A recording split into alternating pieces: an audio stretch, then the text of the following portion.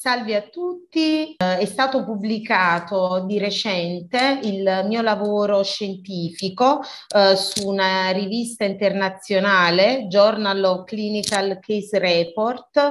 ehm, assieme in collaborazione, studio in collaborazione con l'Università Federico II di Napoli, col professor Del Prete, eh, Antonio e il dottor Salvatore Del Prete sull'impatto ambientali e eh, le patologie Uh, oncologiche. Abbiamo studiato un case report, quindi il numero mh, mm, è uh, diciamo ancora uh, un piccolo gruppo di pazienti oncologici, sono 15, afferenti al mio ambulatorio di medicina generale di prima diagnosi Uh, che cosa è stato analizzato su questi pazienti uh, di prima diagnosi? È stato analizzato è stato il livello uh, di metalli tossici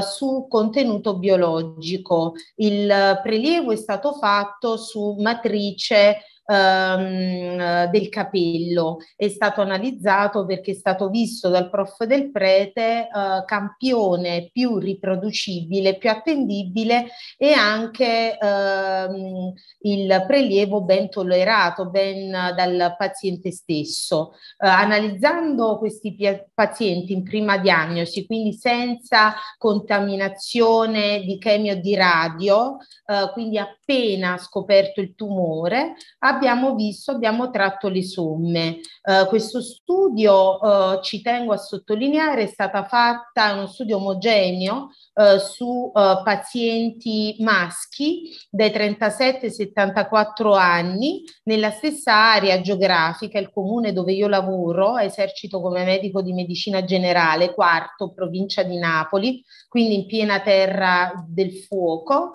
E questi pazienti che cosa abbiamo visto? Abbiamo visto che su 15 pazienti 9 presentavano livelli tossici di eh, molibdeno mh, mm, e ehm,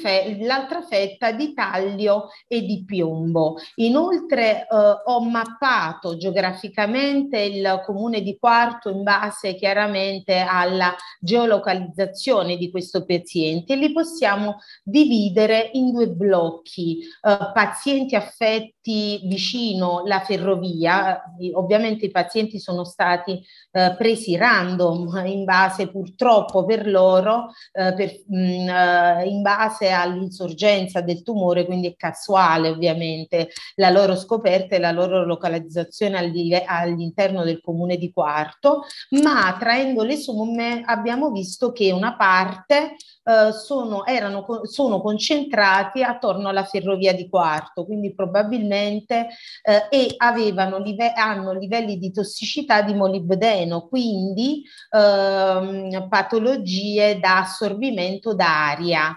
Invece perifericamente a quarto, quindi mappando, eh, presentavano livelli di tossicità di taglio e piombo, quindi molto probabilmente contaminanti d'acqua. Chiaro che un case report eh, chiamato progetto Rosella, ehm, nata dall'idea di una mia eh, carissima ehm, familiare, mia zia deceduta eh, di cancro, è chiaro che questo modello è eh, ovviamente mh, riproducibile in tutte le aree contaminate eh, o tutti i comuni che volessero studiare le cause Uh, e quindi correlare le cause uh, di uh, patologie oncologiche a quelle ambientali ed eventualmente attivare delle bonifiche, perché questo è il fine ultimo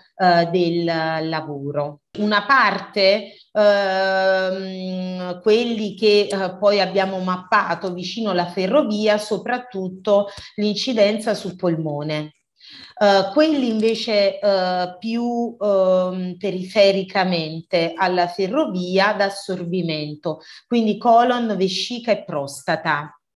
E avevano livelli di tossicità per il taglio e il piombo, quella parte probabilmente da assorbimento di acqua e da agenti inalanti invece il molibdeno, che poi facendo una ricerca accurata, il molibdeno è un metallo pesante che grazie al quale vengono effettuate molte leghe